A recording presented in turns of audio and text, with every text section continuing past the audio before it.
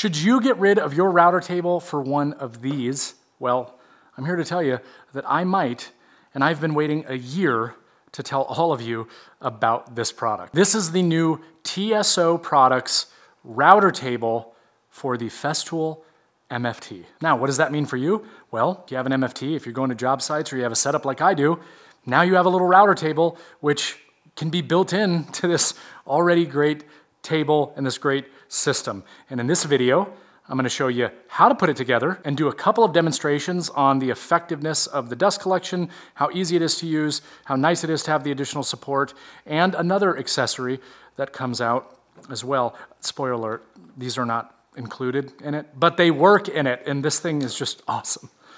One year.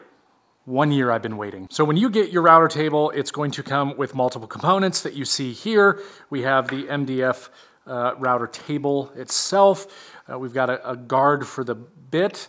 We have the plate, which connects to multiple different uh, routers. The one that I will be using for mine will be the Makita because I don't uh, love this router for other uses, so it will be my permanent router uh, for this router table. These are the two brackets uh, that connect to the table itself, which will connect to the MFT. Then we have our aluminum fence. We have our sacrificial MDF pieces. We've got dust collection here, and we've got some different plugs, which you'll see in the video. And then we have a nice little um, assortment of hardware all of which will be used to assemble this. Now, I've actually already had this thing assembled. I've been trying it out, testing it. Um, I wanted to disassemble it and reassemble it here in this video. Um, one thing I will point out is that if you miss anything in this video you don't understand, they make a very, very good guide that walks you through step by step how you go about setting this up. But the first thing that we're going to do is we are going to utilize these brackets, and these brackets will attach to the table uh, which you'll see shortly. But you'll notice that there's holes located here and here, and then there's three holes here, there's holes here, and the reason for that is because this can be set up in two different configurations. I can either have it running where the brackets are back here and I'm pushing through this way and it's hanging off the edge of the table. I'll put up a little um, picture here while I'm talking about this so you can see that it can be set up in different configurations. Um, or it can be set up to where it attaches to the table this way and maybe you're pushing through uh, in whatever direction and you're using your MFT for support. So the way that I am going to set mine up is to where it would utilize the support of the table itself. So in order to do that, we're going to put these brackets here just like this. And the hardware that you will need for that are these four black screws. There are only four. This is what they are used for. And we simply screw these in to the MDF. So now you can see this is going to mount to my table like this, giving me the ability to push materials through this way, hooking up dust collection on the backside. So this will all make more sense here shortly. Next, I'm going to attach the brackets that will go to this. What you need for those are these brackets right here. You will need these four small hex bolts. These will go two on each side. Then we are going to take the two longer ones. Those are going to go in the center. And with those, there are two springs that come with it. Those springs go over the top just like that. And then we're going to be adding these T-nuts. And these are what really make taking this thing on and off the table uh, effortless, really, really nice. And you'll see that here momentarily. So what we're gonna do is we're going to take the bracket, put our bolt through and attach this T-nut. And we're not gonna tighten this down too tight because we, you see that spring action? That's what we're looking for. From here, we're gonna put one of these in the top and one of these in the bottom. Um, I'm just using a five millimeter uh, driver. This is not the one that actually comes with it. They do send one that comes with it and it actually looks like this. Um, but we can get these tightened down and then we'll be able to go ahead and test it on the MFT. Now what's really nice about these T-nuts is that because there's a little groove uh, etched into the edge of this, it'll keep these T-nuts in this orientation here, which is important because those are going to go right into this channel. And then if you look here, you'll see a little groove cut out. that's to go right over the edge of this. Switch the camera angle up just a bit so you get a better visual, but this just goes on at a slight angle like you see here, and then it just falls right in just like that. And now what I can do, I mentioned before that uh, I left everything a little bit loose. So from here, I can go ahead and tighten these down. And finally, the thing that is going to attach this in a sturdy way to the table is this screw. But it's important to note, you wanna make sure that you push the screw in because that's gonna allow the T-nut to turn and clear, which is gonna be what actually grabs these ridges right here. So you wanna make sure that you push it in uh, when you're tightening it down. Now from here, what I'm gonna do is make sure that I am nice and level across. And in the event that you're not, there are uh, shims that they provide, and you'll see they have three cutouts. Those cutouts go right in line with the bolts that we used for the bracket. So if you needed to raise this up slightly, you would use these shims. It comes with a total of four. And before moving on to the next step, I'm just placing these final two screws in the top, making sure that they are below the surface. Next, I want to cover uh, installing the actual router plate. And the reason for this is because I'd, I'd rather do this before I do the fence portion. Now this plate will work with DeWalt, which is indicated with a D. We have Milwaukee, which is rep, uh, represented with an MI, Makita, MA, and then you have B3 and B4, and those are for Bosch, either a three-hole pattern or a four-hole pattern. So it's compatible with most of the uh, trim routers, at least the majority of the very popular ones. So what you want to do is just line it up to where it matches whatever your base is. Now, something that I did because I don't want to admit it, but it was very uh, challenging the first time I put this on, trying to make sure that I had it turned the right direction. When I took it apart, I actually just marked what the top uh, hole location was going to be. And then now all I have to do is just line it up with that.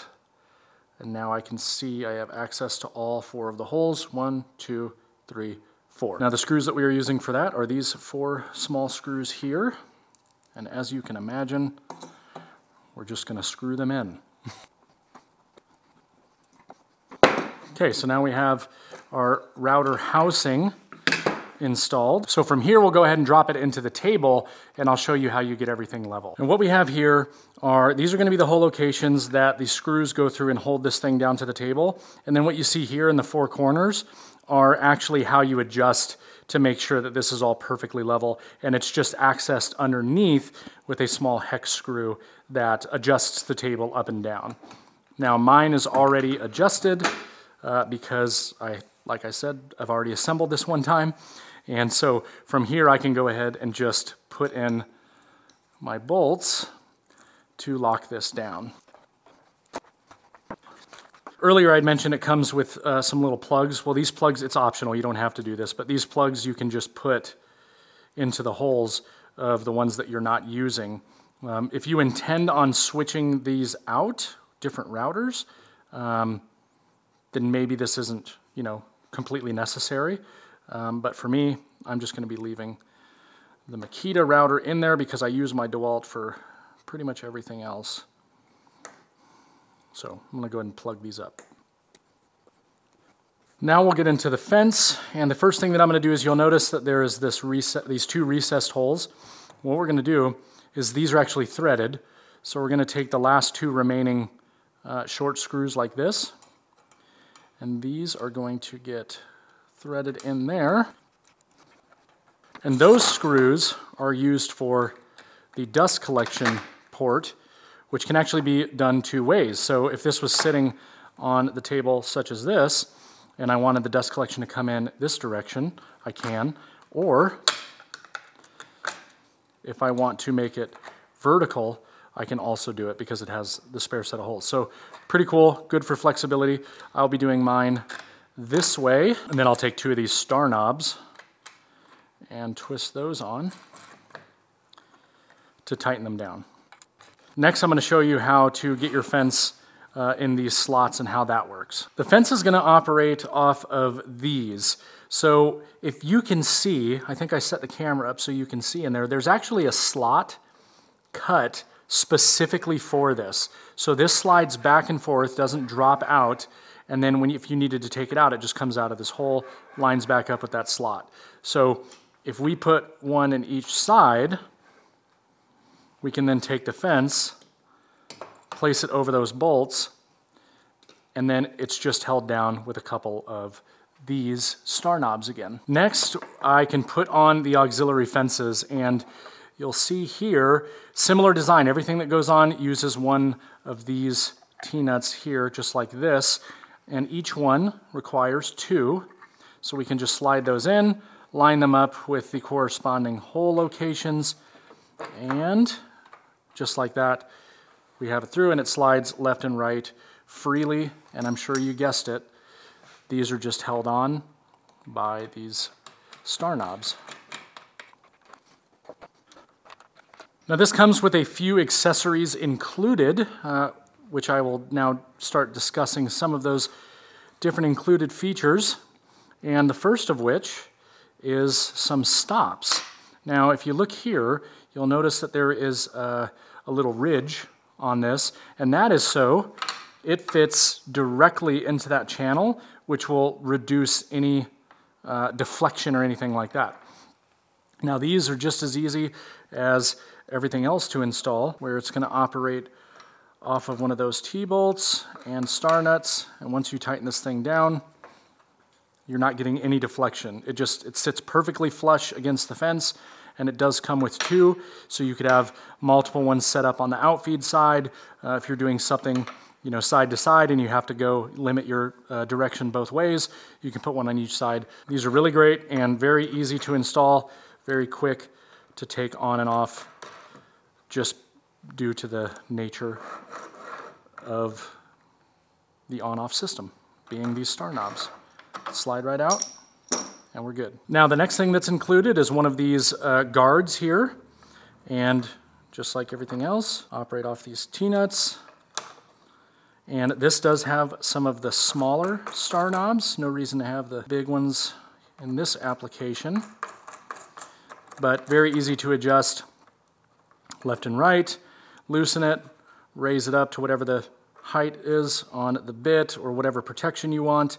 And there you go. And finally, one last feature that it does come with is a starter pin, which simply screws down right here, and now you have a starter pin for any of your material. Now this next accessory does not come with it, but it is my favorite accessory that you can add to it, and that is the JessEm rollers for the router table. Now I already owned these uh, for my other router table, but they operate off the same style bolt, which means they can slide in and out. Like I said, these are not included. It is an additional purchase that you can make, uh, but I would absolutely recommend taking a look at these. I had them on my table saw. It's just such a great tool, the way that it works for those that don't know. So these are locked down to lock it in place. These are locked down to lock the up and down movement. So what you would do is you would take your board, your material, and to set this, with these, you simply put a little bit of downward pressure tighten that down, tighten that down. And now what this does is it stops it from being able to come back at you and it will also drive the workpiece into the fence because the wheels are turned at a slight angle, just like this. So it keeps constant pressure down and see how they're not turning? I can pull out if I absolutely needed to, but it just does a really good job of making sure that it keeps the material flat to the table and flat to the fence, giving you much better results. All right, now I actually uh, want to use it and show you guys um, how nice of an addition this could be to the MFT. Um, while I'm doing this, one thing that I will say is I was fortunate enough to uh, actually see this about a year ago when it was in development. And I've seen different prototypes and the changes and modifications, and I actually got to give my opinions uh, on some things. And this is a very different router table than the one that I originally saw.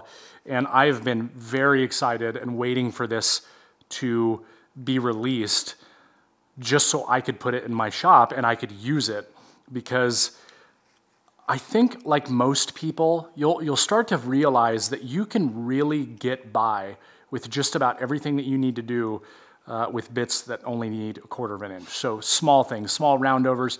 Now, granted, if, you're, if it's a big, huge workpiece, you're not going to take that to a small router table or even a large router table. Um, you're probably going to bring the router to it. Um, but I would say 90% of the time when I'm using a router, it's a trim router. Uh, it is with a quarter inch bit, and it is something that I just need to do a quick small profile on. So for me, being able to have this and not sacrifice the space, oh, and by the way, I can take it on and off, is really, really nice. Um, to the point where I've actually been considering getting rid of my large router table because the only benefit for me at this point to having a large router table is to be able to use half inch bits uh, when doing things like making doors, rails, and stiles, Um, and you need a particular bit set that you can only get in a half inch. You know, that's where it's nice. But man, how often am I doing that? And it really has taken up a lot of space. And there's probably other ways uh, that I could get by or just do a different design. So um, I'm, I'm really, really thoroughly impressed with this little router table. It's really good. I'm going to show you now. Um, and there's also one other thing that I'll show you. But first, let's cut some stuff. Now, I'm not going to go like buck wild in this video and, you know, show you all kinds of different ways that you can use a router table or route because uh, if you're watching this, you probably know how to use a router table and what it's used for. What I want to demonstrate is um, one, how convenient it would be for somebody who's at a job site or in your own shop that has MFTs. Um, and I guess I should say, to be fair, because I don't know if I've uh, stated this specifically. This is designed for a Festool MFT. If you're somebody that wishes they had a nice little router table setup um, in a job site or with their existing table and they don't want to give up a bunch of space, this is an excellent solution and it is extremely sturdy. Um, before I was mentioning, I got to see the different uh, changes that have happened in this, and the first couple that I uh, got the got to experience and got to try um, were not. So they, they came up with some excellent solutions um, for this. So I want to demonstrate um, one, how it can be nice to just have this nice little table and have all the support from your MFTs, um, but also show you maybe the differences between um, making cuts with dust collection versus without it, um, the different kinds of cuts. And obviously, there's other things that incorporate or that, that affect dust collection itself but you will see a significant difference between the two. And furthermore, if you're using, depending on the router that you're using, um, you can get the dust collection even better uh, by having a port on the actual router from underneath then you're getting it from underneath and you're getting it from the back of the fence. So that was a lot of talking. I'm going to cut something. All right, what I'm going to do is I'm just going to cut a rabbet on the edge of this board, the bit that I'm using, this is one of these new uh, Astra-coated HP bits from Bits and Bits. Uh, if you guys haven't checked out Bits and Bits, I would strongly encourage it because they do make some fantastic router bits. But we're just going to do a rabbet on the end of this. I will hook up dust collection. We'll see what is remaining, and uh, then I'll do it without dust collection just so you can see see the difference.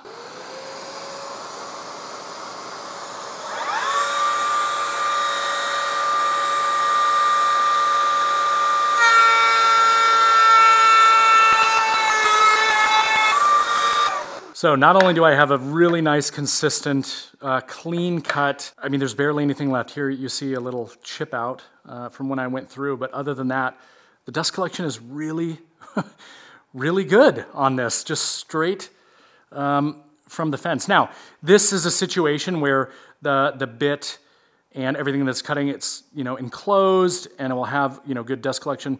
Now, if I was to do uh, like a groove, obviously I'd probably get the spray out because I don't have dust collection from underneath, which is what would be required in this scenario. Um, but on a cut like this, I mean, it is, it is great. So the fence, the dust collection on the fence can be very effective. Let's just do it real quick without it.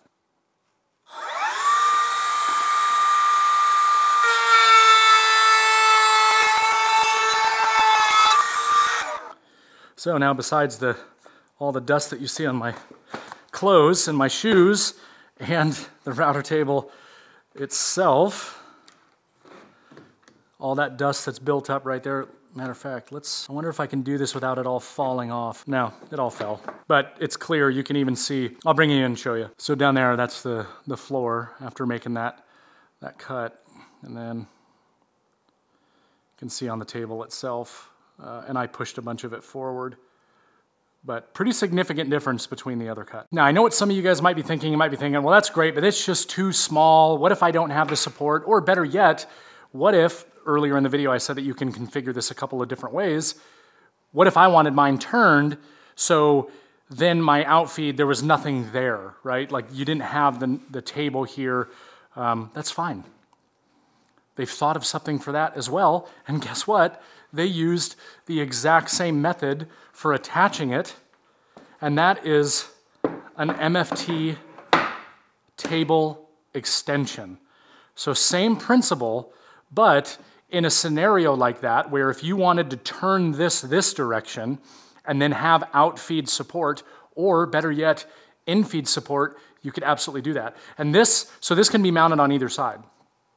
Um, I'm going to mount it on this side just because that's what I have available.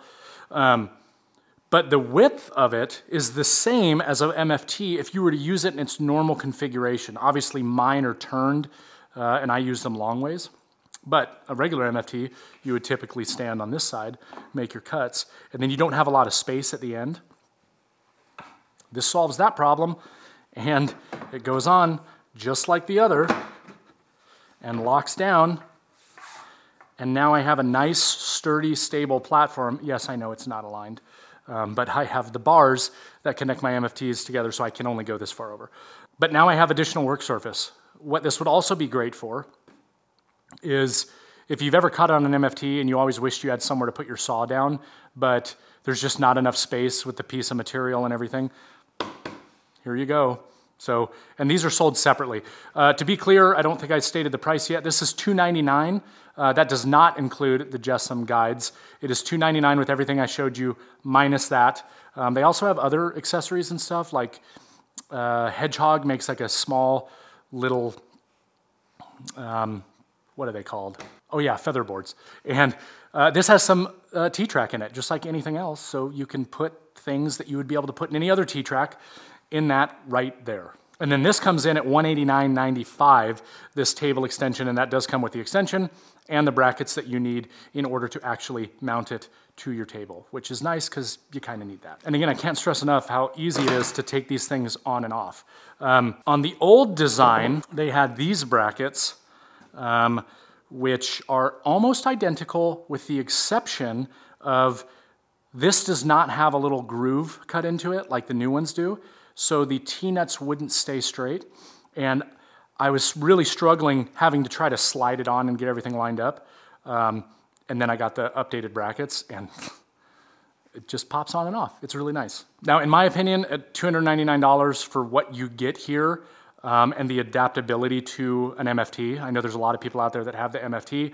Um, it's really nice to be able to take advantage of the rails. I think that this is a really good deal. I would say that if you're going to get one of these, and you don't have these, I would absolutely get these JessEm guides to go with it. I think it's like another hundred bucks. I've seen people modify these on uh, like mag switch fences and actually use these ones on the table saw. Um, so you do have some flexibility there. But these are just really great to have. Nice little addition. Um, again, it does not come with the set. You have to buy those separately. But the stops, uh, the bit guard, all of that stuff does come with it. The dust collection port, all of it. Um, 299 189.95. Um, I think it's a win. I think it's a home run. Great job, TSO. Now, do I think that this router table is going to be for everybody? And the answer is no, obviously not. But what I will say is that I think that this is going to handle 90% uh, of the things that I would need a router table for. And I just really love that I can just pop it on and off and put it off to the side and store it. Matter of fact, it's small enough you can just put it in a drawer. But in my opinion, I think the people that it's really going to benefit uh, are people like me. Uh, who have a scenario like this, or if you're somebody that goes to the job site and you don't want to lug around another router table, but you always wish you had the ability. I mean, this is just such a great solution for that. As always, links to any of this stuff can be found in the video description, as everybody knows. And if you have any questions, leave them down in the comments. Uh, and see you next time.